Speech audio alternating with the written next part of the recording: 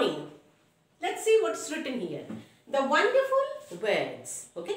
This is a title of a poem. Okay. Name of a poem written by Mary O'Neill. But before reciting the poem, let's play a game so that we will understand the poem in a better way. So I am taking a word. To play this game, you only need to frame the words. You don't need the materials like indoors or outdoor games. This is a game where we are going to use the language. Uh, I have written suppose a word. I have written a word like, uh, let's take the Mary, name Mary. We will take the last letter and we will frame a new word with the last letter. So Y. You will start the word with a Y. Anything like yak. And it will go on like K. Kite. E. Egg. G. Gate. E. Um, elephant. T. Tie. E. Eagle. See how many times E is coming. E. Enroll. L. Lion. N. Nest. T. Tree. E. Again. Again we have got E. Andros. E. Entitle. E.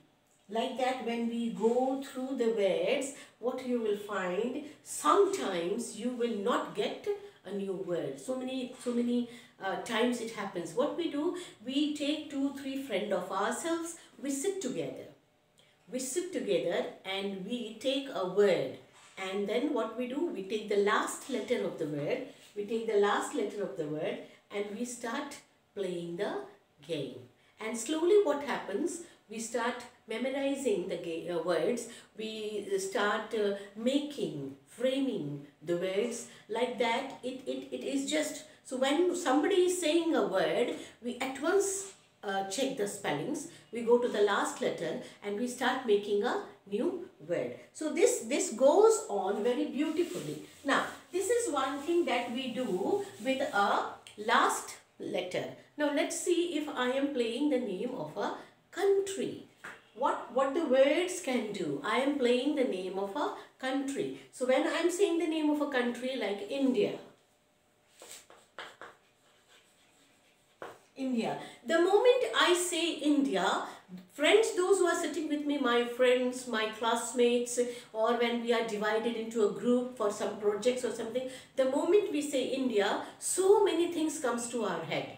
It is the culture, the traditions, the festivals, states, languages, children, many things comes to our head. Okay, so let's play a game with the word India and we will frame new words and these words will be only the name of the countries.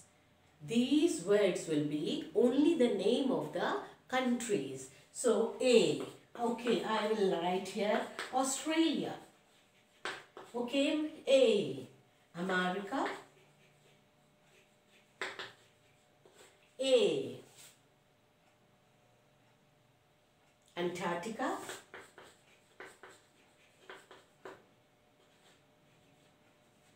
A. Alaska.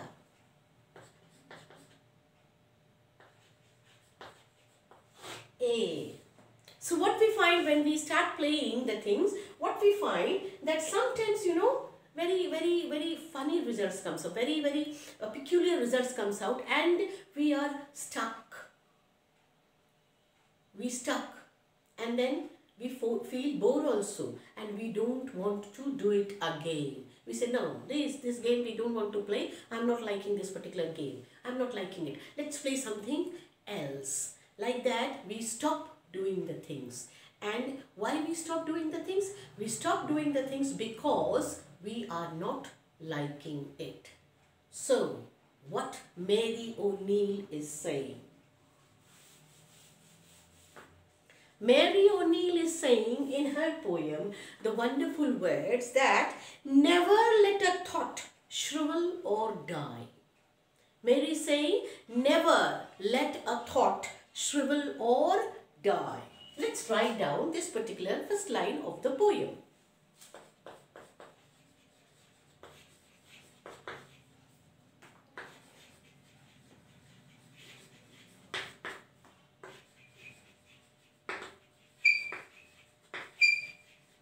Never let a thought shrivel or die for want of a way to say it.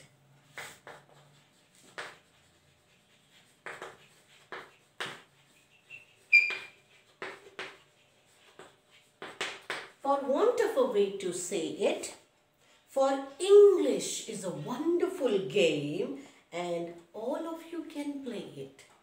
What the poet is saying that English is a wonderful game.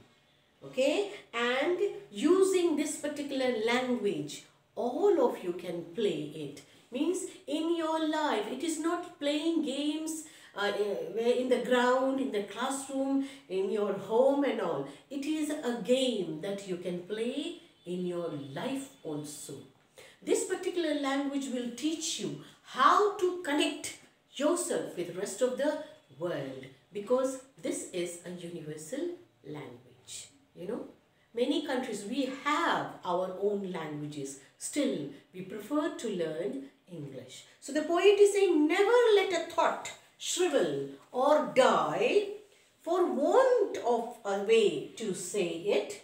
For English is a wonderful game for all of you can play it. The poet is saying everybody can play the game. Everyone can play the game. And all that you do is match the words. What you are doing in the classrooms, what you are doing in your projects, what you are doing in your assignments. What are you doing when you're in, you are in your lower classes? What are you doing? You are only, let's erase this one. You are only, what are you doing? You are only matching the words. You are only matching the words. Though English is much more than this. That is much more than this to the brightest thoughts in your head so that they come out clear and true. What the poet is saying? The poet is saying that in your head there are many wonderful, bright, clear thoughts are there. And you need a language, you need some words, you need those things to speak it out to others. Okay? So they come out clear and true. Your word should be very clear. Your idea should be very clear. That should not be only matching the word. It should be more than that. And handsomely groomed and fed for many of the loveliest things that never yet been said what the poet is saying. See, such a beautiful line it is. The poet is saying, and handsomely groomed and fed. Your words, you know, dresses your thoughts. Your words are your the things that makes you handsome. Okay, that is very handsomely groomed. We groom it we, we just nourish it, we care, we take care, you know, we are taken care. Sometimes we just simply, we simply we do not speak, we just think twice. And what we do, we try to make ourselves, you know, in a beautiful way, in a handsome way. The poet is saying for many of the loveliest things, it is in your head, sitting in your head, all the beautiful and the loveliest things. And when you use the words, when you use the language, what happens? The things that you are saying, maybe no one has said earlier. No one. And that is why she is saying, for many of the loveliest things, have never yet been said. But what we are doing, the thoughts are inside, it is dying inside us. We are frightened to speak. We are thinking so much that our ideas, our words our emotions, our feelings, everything is, you know, just vanishing from us. It comes like a flame and it goes, and we are not saying it, we are not thinking about it. Words are the food and dress of thought. Words are there. If you do not have the word, then what kind of language you are having, my dear? So words are your food and dress of thought. What we do, we take a, a, a topic and then we nourish it with beautiful words. We, we nourish it with great words, fabulous words, and we make our saying a very great and a grand one. Sometimes, you know, the things are said in such a simpler way that it is very easy to understand. And sometimes we dress it in such a complicated way that it is very difficult to understand. So, words are your thoughts. You know, words are your food. Words are your food and words are the dress for your thoughts. They give its body and swing. You know, they swing, they take you up your imaginations, your word power, your your uh, inner desires, what you have thought, your um, uh, aspirations, your dreams, everything you give the words, and it goes up like a swing. And if you don't give it properly, it comes down also. So what the poet is saying? The poet is saying that the food, okay, food and dress. Food and dress. What are the food and dress? Words. Words are the words are the food and dress of the thoughts. Words are the food. Okay. These are the food. Food and dress. These, these words are the food and dress of the thought. It gives you a swing. It takes you up. It takes your imagination up.